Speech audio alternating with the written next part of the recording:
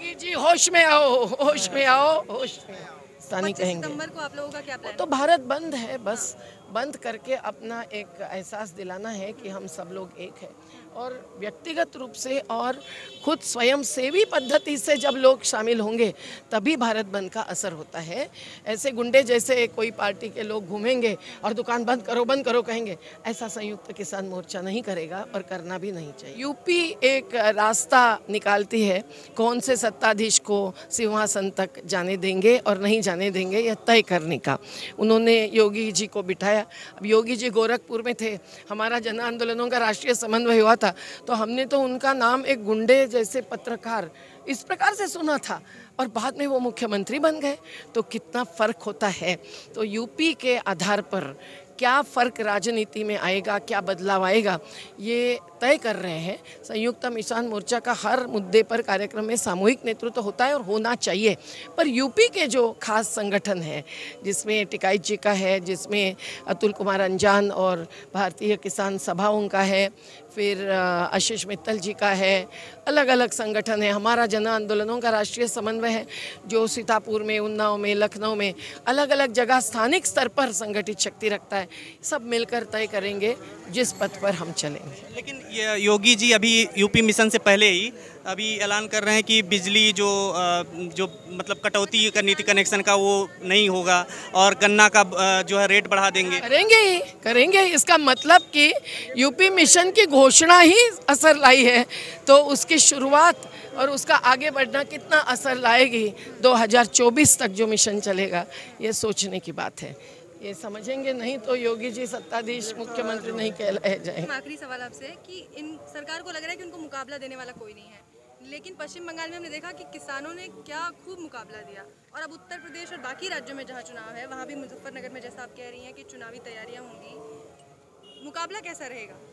वो तो मुकाबला करने वाला करने की कोई ज़रूरत नहीं ऐसा जो कह रहे हैं वो दिखावा है।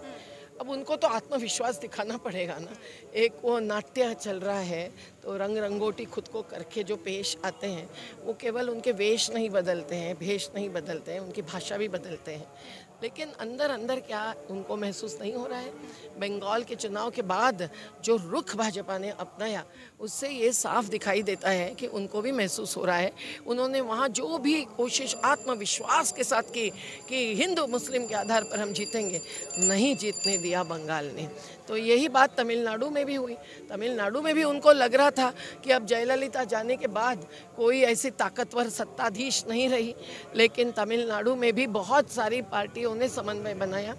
केरल में तो उनको पाँव ही रखने दिया, एक कुर्सी नहीं मिली उनको। तो ये संभव है कि देश के लोग केवल किसी इस पार्टी के उस पार्टी के नहीं, भाजपा के भी लोग जो थोड़े ईमानदार हैं, जो देख रहे हैं, जान रहे हैं, वो भी अंदर अंदर चर्चा करते हैं, समझते हैं।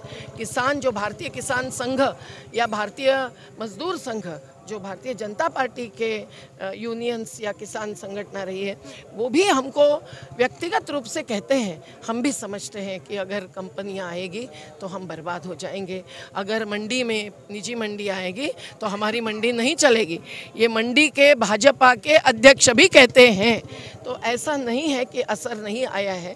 अब दिखाने वाले आपके जैसे मीडिया कम होते हैं जो मीडिया उनके गोद में जाकर बैठे हैं उनसे बात करने की ज़रूरत नहीं है। पर आज सोशल मीडिया पर भी वो कंट्रोल इसीलिए कर रहे हैं क्योंकि उसका भी असर कहीं ना कहीं आ रहा है। और टोल वर्कर्स को मैं में लोहे से ज़्यादा ताकत होती है। That is the strength of चलो ले लो भैया इस वक्त हमारे साथ मौजूद है मेधा पाटकर जी, किसानों की जो ये आंदोलन चल रही है यह आज नौ महीने पूरे कर चुके हैं। और इन्हीं सब मुद्दों पे और आज यहाँ से कुछ नई दिशा तय की गई है इस किसान आंदोलन के लिए। और वो क्या कुछ है, पहले मैं आप वही जानना चाहूँगी आपसे कि नौ महीने पूरे हो गए हैं। सरकार अभी तक इन किसान, जो भी आंदोलन है और जो मुद्दे हैं इनके इस पर बात करने को भी अब तैयार नहीं है। बाईस जनवरी को लास्ट बात हुई थी, अब तो बात भी नहीं हो रही। देखिए कि नौ महीने में तो बच्चा पैदा होता ही है। और महिलाएँ खास जानती है क्या दर्द होता है। एक कुछ पैदाइश का। और ये जो निर्माण का कार्य इस आंदोलन से हुआ है, उसने क्या क्या पैदाइश की है? एक तो एकता की, समन्वय की, हिम्मत की, शहादत की, ताकत की और बुनियादी परिवर्तन चाहा है। उसकी मंजिल निर्माण हुई है और वो मंजिल है गैर बराबरी ख़त्म करने की। किसानों और उद्योगपतियों के बीच में हो, या ज़मीन मालिक किसान और मज़दूरों के बीच में हो, या दलित आदिवासी किसान, मज़दूर और दूसरे समाज के किसानों के बीच में हो, या किसानी में जो जो शामिल होते हैं, जिसमें मछुआरे हैं, पशुपालक हैं, ये सब के बीच में हो। ये सब दूरियाँ मिटाने का काम और निर्माण एक प्रकार से इस आंदोलन ने किया है। अब आगे की दिशा, आगे की दिशा में बुनियादी सिद्धांत तो बदलेंगे नहीं, जैसे अहिंसक ही रहेंगे। जैसे जनशक्ति ही मुख्य आधार रहेगी, सत्ता शक्ति नहीं, धन शक्ति नहीं तो तन मन की बात जो ये आंदोलन जीवी हम सब कर रहे हैं, जो मोदी जी के मन की बात नहीं मान रहे हैं। और जन जन की बात सुनकर फिर आगे की दिशा और मंजिल तय की जा रही। है आज तो कुछ सुझाव मंजूर हुए हैं, जिसमें एक है 25 सितंबर को एक भारत बंद का बड़ा कार्यक्रम और 5 सितंबर को मुजफ्फरनगर में मिशन यूपी उत्तराखंड की शुरुआत उद्घाटन। लेकिन आगे की दिशा मेरे ख्याल से अभी भी तय होनी बाकी है। कल दोपहर तक ये सम्मेलन चलेगा, जिसमें दक्षिण से लेकर उत्तर और उत्तर पूर्व तक जो संगठनों के प्रतिनिधि आए हैं, उनकी क्या सुझाव है एक्शन प्लान के लिए? ये सोचना, समझना ज़रूरी है। और कुछ सुझाव, जैसे मैंने सुझाव रखा है कि राष्ट्रीय स्तर पर अब कायम की जन संसद स्थापित की जाए। जैसे बटरान रसेल ने एक बार कहा था तो 101 या 111 लोग ऐसे चुने जाए जो कि सही प्रतिनिधि होंगे। राज्यसभा में भी किसान मजदूरों का प्रतिनिधित्व तो कोई नहीं होते, कलाकारों का प्रतिनिधित्व होता है तो नाच गाना होता है, तमाशा होता है, लेकिन किसानों, मजदूरों की बात, मेहनत कशों की बात जो होनी चाहिए, आदिवासियों की दलित नहीं होती है।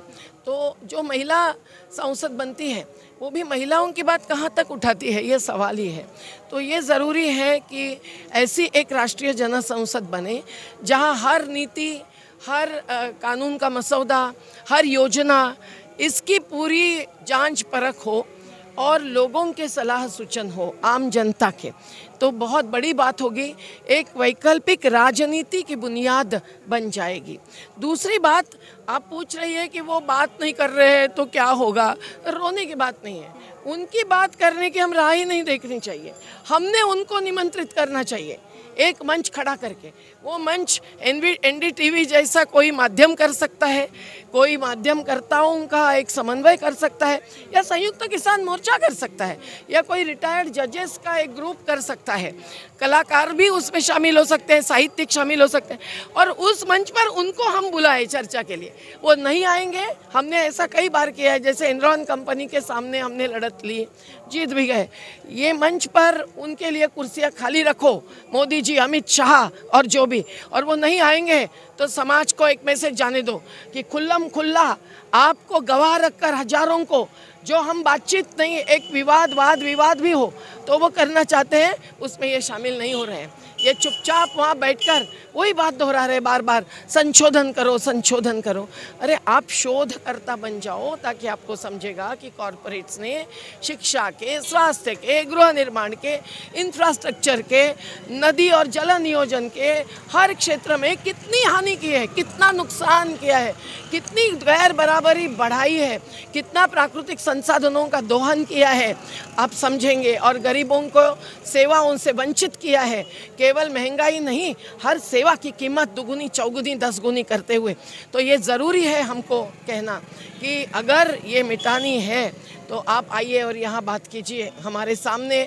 आप क्या चाहते हैं वो बताइए हम क्या चाहते हैं हम बताएँगे। मुझे लगता है ऐसी एक अभी जन जन की बात है।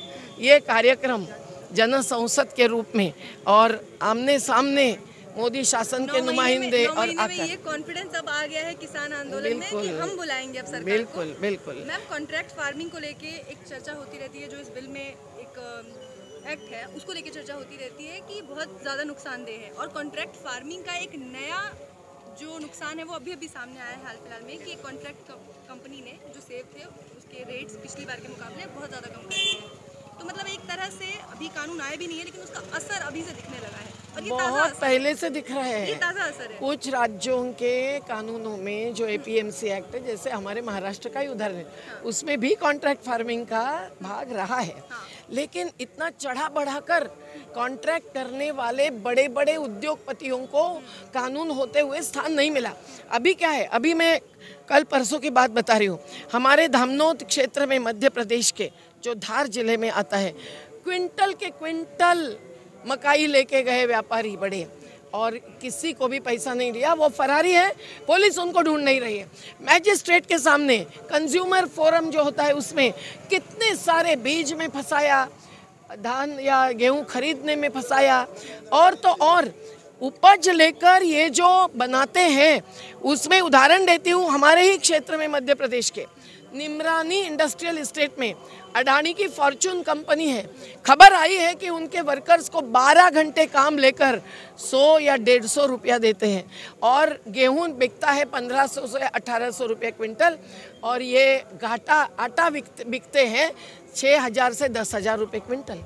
तो ये जो उन्होंने करोड़ों की कमाई की है, वो किसानों के, मजदूरों के बलबूते पर की है और ये प्रकृति कोई उनकी जायदाद नहीं है। और मोदी जी और सरकार जब उनके साथ भागीदारी करते हैं तो उनका जो हिस्सा होता है लाभों का, वो उनको चुनाव के समय लेते हैं। समझ में नहीं आता है लोगों को कि कहाँ जाता है मुनाफा। और ये मुनाफाखोरी और अभी जमाखोरी भी। तो कॉन्ट्रैक्ट में ये ज़मीन ही छीनेंगे ऐसा ही नहीं।